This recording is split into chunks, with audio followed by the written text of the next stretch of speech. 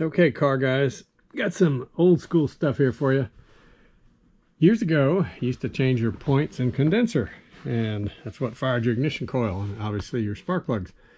This is cool. This is an old Ford type, and you had to mount this in the distributor. If you notice, there's a little bit of, you can slide it left, right, adjust it. That's how you did it. Um, to adjust the dwell on this, you didn't use the dwell meter, you used the feeler gauge. And on the Ford ones, you lock this down and then crank the engine until you got the distributor on a high point. And when it opened these points, you would look for a 15 thousandths to 17 thousandths inch clearance between the point and the ground, as you can see right there, that little part. And that's how you got it to be close enough for your timing, you know, for your uh, dwell to be correct. Of course, here's a condenser, and that's what they would always say, points and condenser. This guy was actually plugged in right here on the contact with the uh, wire going to your coil. And every time these would open, this would make sure they didn't arc and pit. Well, it'd arc to an extent because that's what would wear them out. You know, you get 15, maybe 20,000 miles out of a good set of them, uh, even if this condenser was good. And sometimes these would fail and the points would pit and the thing would stop running right. And uh, that's just something you had to do routinely on the old cars. Now it's all electronic ignition. You don't even have a distributor anymore. This version here is the ones like we used to have in the General Motors cars. What was neat about it is you mounted it down, and then if you needed to adjust it, you just turned this uh, set screw here, or actually it's a hex. Uh, you just put your Allen wrench in it and adjusted it, and you adjusted it while the engine was running.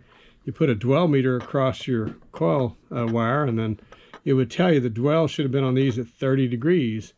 And uh, all it does is move the whole point arrangement back and forth uh, to adjust the dwell on it. But anyway, just standard old points, you know. You didn't have to set the gap with a feeler gauge like you did on the Ford products, but that's just the difference in manufacturers. But um, these worked out real well. I could get, you know, 20 something thousand miles out of these, and uh, it worked out pretty well. And then, of course, we got one other item here. I bet you some of you know what this is. It's an 8-track tape. It's got quarter inch recording tape in it, and your music was on this guy.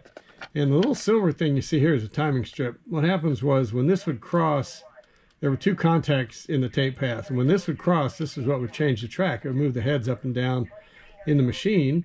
And these actually had four sets of two tracks, consequently an eight track.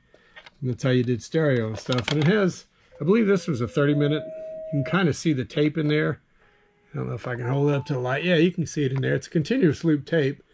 It feeds from the center and widens around the outside of it. But this is what we had when you hear somebody say, oh, you have any 8-track tapes? Well, yeah, actually I do. These are unrecorded. I've got a 8-track recording machine back there in the back too. And that thing worked out pretty well. You can make your own tapes that way. And if you had a, say, an album that was no longer produced or something and you wanted to put it on your tape, you could always record it on here. But uh, that's what an 8-track tape was. The original ones were 4-track, and they did not have the pinch roller inside. That's what this notch used to be. This used to be all cut out. And the 4-track machines actually had a, a, movable pinch roller that would pop up out of the machine and go inside here. But these actually have a pinch roller inside. They have their own built-in little rubber pinch roller.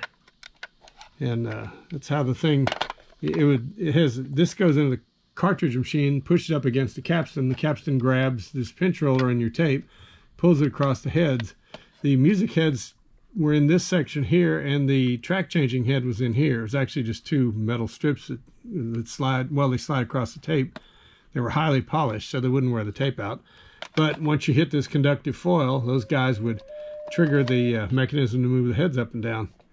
But anyway, a little bit of old school audio and old school electronics, if you want to call it. This is more like old school electrics. But, you know, it's just old school stuff. I think they still sell all this. You can probably get it on Rock Auto, someplace like that. But anyway, that's what we used to have to do to tune our cars. Thought you might want to see that.